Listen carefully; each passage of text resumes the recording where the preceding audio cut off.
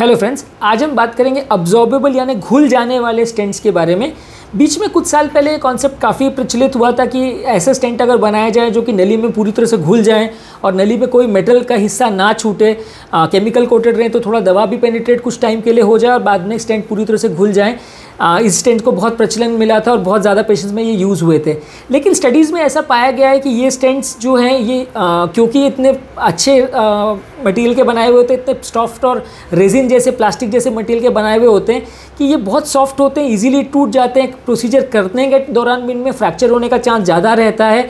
और कई बार क्या होता है कि स्टेंट पूरी तरह घुलते नहीं है तो उसके कुछ टुकड़े नली में रह जाते हैं, जिसमें बाद में क्लॉटिंग होने का चांस बढ़ जाता है। प्रोसीजर करने के दौरान भी ये स्टेंट्स की विजिबिलिटी बहुत ख़राब होती है, जिसके कारण से प्रोसीजर करते टाइम ऑपरेटर कोई अच्छे से दिखाई नहीं देते तो प्रोसीजर रिलेटेड प्रॉब्लम्स होने का चांस भी बढ़ जाता है। इसलिए ये स्टेंट्स ज़्यादातर प्रचलन से बाहर हैं यूज़ नहीं होते हैं।